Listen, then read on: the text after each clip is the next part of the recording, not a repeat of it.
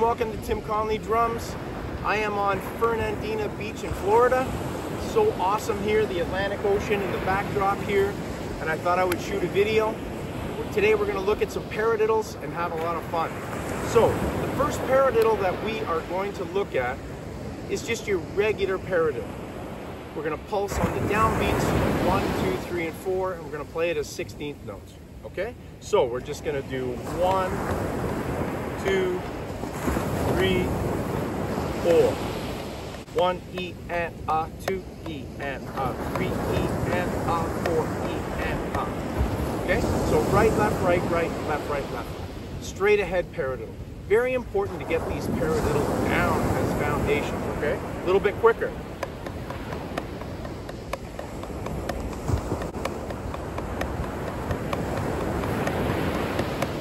Okay, now one thing I want to talk about before we actually get into a lot of playing is how do you develop good technique?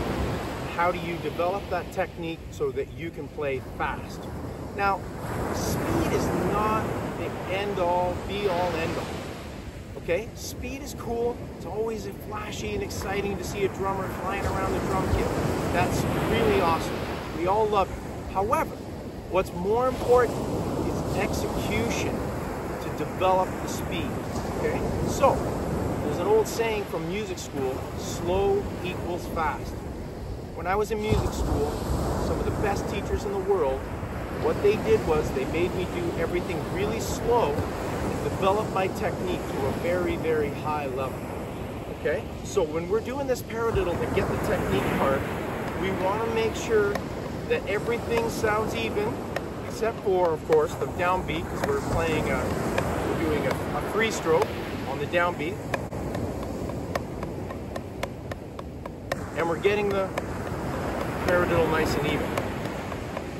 So I'm doing it nice and slow, making sure space.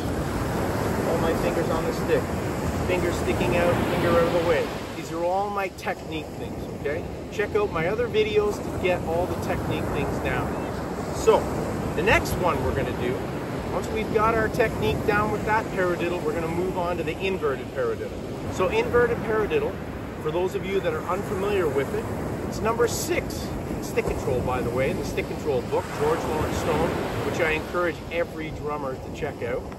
The first paradiddle is number five, the inverted paradiddle is number six. It goes like this.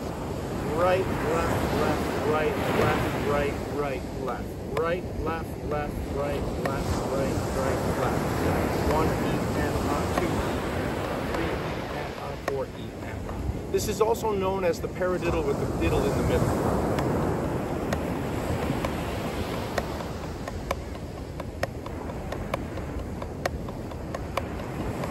right?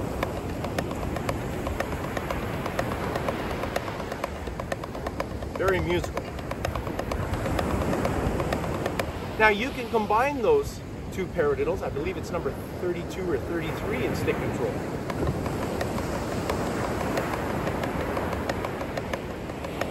So I'm going right, left, right, right, left, right, right, left. One E and A, uh, two E and A, uh, three E and A, uh, four E and A.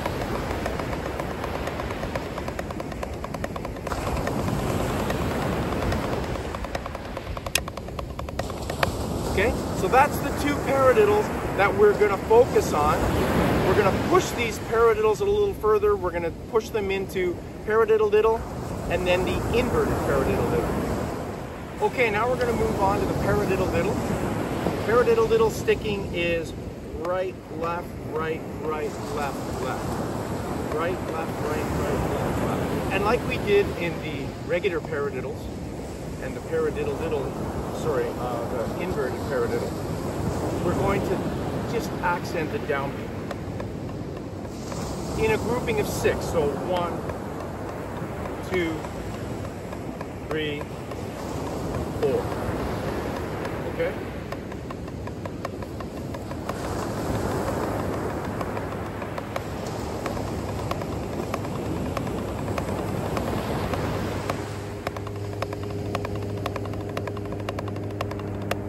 So, right, left, right, right, left, left. Now, there's a variety of ways that you can play this. Okay, so the three ways that I like to play one is the way we just did it, where we play them in groupings of six. One, two, three, four. So in 4-4 time, the grouping of six is played inside of the bar of four. Each grouping of six gets one beat. So we're jamming six notes into one beat. Very, very common thing, okay? The next thing you can do is just play it as a one bar phrase and you go right, left, right, right, left, left, second time right, right, left, left, half a paradiddle or a paradiddle, right, left, right, right. So,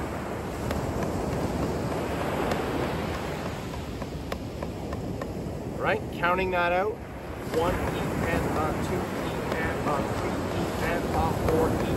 Now, what we can do with this if we want to change it, that's a one bar phrase, But we can also do it as a two-bar phrase, flipping over to the left side.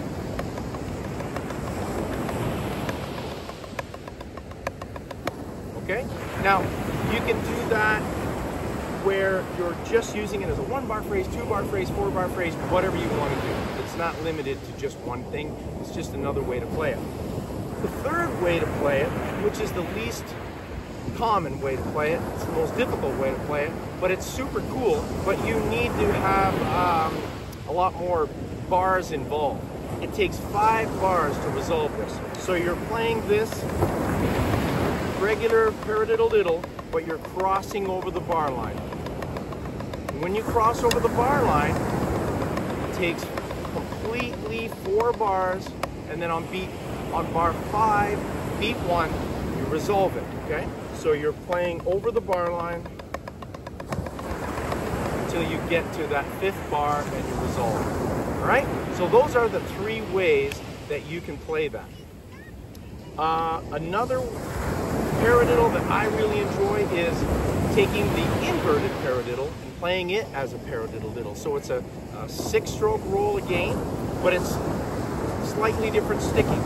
Diddle is now in the middle but it's a paradiddle diddle, but the diddle in the middle. Just like the first one that we did. Right, left, left, right, right, left, right, left, left, right, right, left, right, left, left, right, right, left.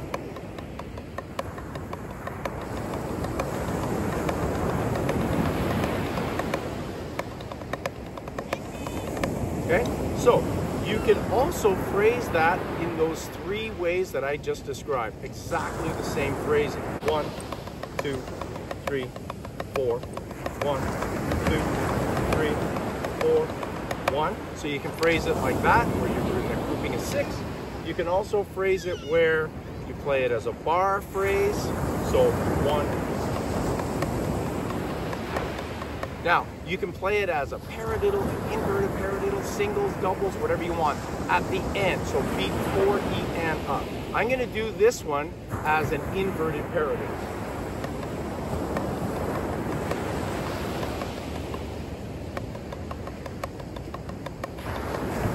So there's many, many ways that you can do that on beat four. The rest of the bar is, of course, the inverted diddle diddle. But at the end, beat four, you can change it up and play whatever you want. Okay? So, those are the paradiddles that I wanted to cover today. Just a quick little lesson today.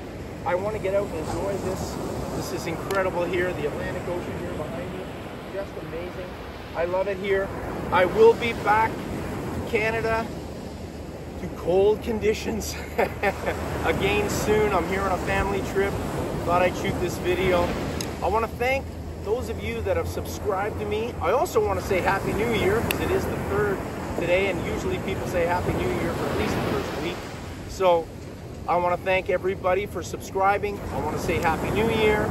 Please check out my merch. I got a new merch shelf down below please check it out. I've got about 67 or 68 designs using uh, Spreadshirt. Some really cool stuff there. It's Not just my logo per se, it's all kinds of fun drum stuff as well. So, thanks for joining me here on this incredible beach on this incredible day. Thank you very much, and remember, as always, keep drumming.